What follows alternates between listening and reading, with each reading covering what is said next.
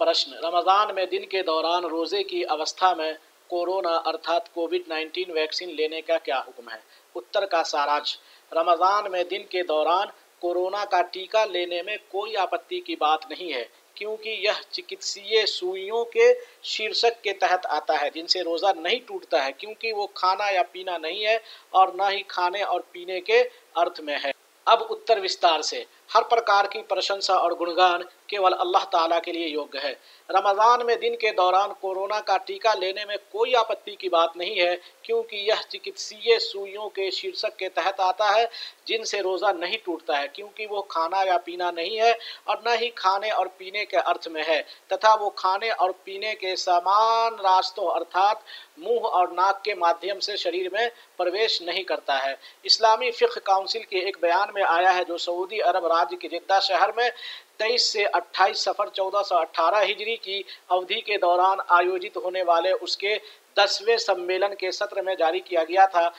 चिकित्सा के क्षेत्र में रोज़ा तोड़ने वाली चीज़ों के विषय पर काउंसिल में प्रस्तुत शोधों तथा काउंसिल और अन्य निकायों के सहयोग से मोरक्को राज्य के कासा बलांका में 9 से 12 सफ़र 1418 हिजरी की अवधि के बीच Islamic organization for medical sciences द्वारा आयोजित नौवीं चिकित्सीय फ़िक्र संगोष्ठी द्वारा जारी किए गए अध्ययनों, अनुसंधानों और सिफारिशों की समीक्षा करने के बाद तथा फ़ुकहा और डॉक्टरों की भागीदारी के साथ इस विषय पर हुई चर्चाओं को सुनकर और कुरान और सुन्नत के प्रमाणों और फ़ुकहा के शब्दों को देखते हुए काउंसिल ने निम्नलिखित निर्णय लिया है। सर्वप्रथम, निम्नलिखित चीज़ें रोज़ा तोड़ने वाली चीज़ों में से नहीं मानी जाएँगी।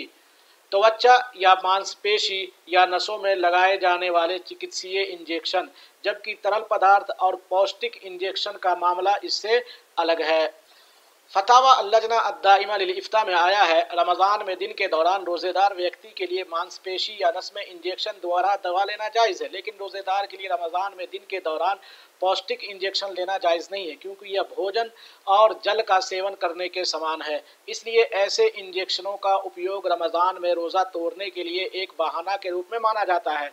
यदि रात के दौरान मांसपेशी या नसों में इंजेक्शन देना आसान है तो यह बेहतर है, उद्धरण समाप्त हुआ। शेख इबन उथमीन रहमल्ला ने कहा, विद्वानों ने रोज़ा तोड़ने वाली चीज़ों के साथ उन चीज़ों को भी शामिल किया है, जो भोजन और पेय के अर्थ में है, जैसे कि पौष्टिक इंजेक्शन तथा वो इंजेक्शन जो शरीर को सक्रिय करता है या ठीक करता है, उसे पौष्टिक इंजेक्शन नहीं माना जाता है, बल्कि पौष्टिक इंजेक्शन वो है जो खाने और पीने का स्थान लेता है।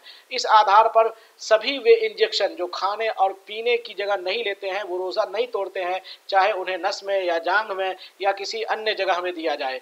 आदरणीय शेख अब्दुल अज़ीज़ बिन बाज रहमल्ला से पूछा गया, क्या टीका के इंजेक्शन रोज़े को प्रभावित करते हैं? तो उन्होंने जवाब दिया, वे प्रभावित नहीं करते हैं और रोज़ा सही है। चुनानचे जो इंजेक्शन टीकाकरण के लिए हैं तथा वे इंजेक्शन जो चिकित्सा उपचार के लिए हैं, सही दृष्टिकोण के अनुसार रोज़ा को प्रभावित नहीं करते हैं। परंतु जो इंजेक्शन पोषण के लिए हैं तो यही वे इंजेक्शन हैं जो रोज़े को प्रभावित करते हैं। लेकिन नियमित इंजेक्शन जो टीकाकरण आदि के लिए हैं तो सही दृष्टिकोण यह है कि वे रोज़े को प्रभावित नहीं करते हैं और रोज़ा सही है।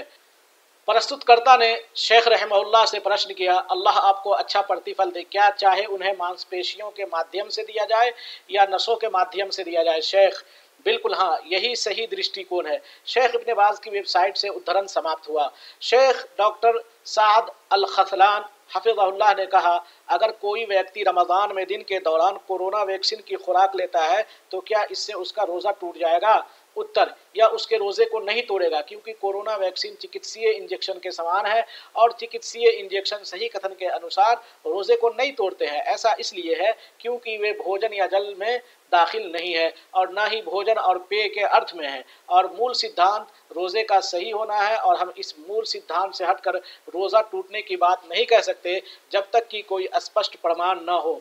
इसके आधार पर हम कहते हैं, रोज़ेदार व्यक्ति के लिए कोरोना वैक्सीन लेने में कोई हर्ज नहीं है और इसकी वजह से रोज़ा ख़राब नहीं होता है। एक वीडियो क्लिप से उद्धरण समाप्त हुआ और अल्लाह ताला ही सबसे अधिक ज्ञान रखता है।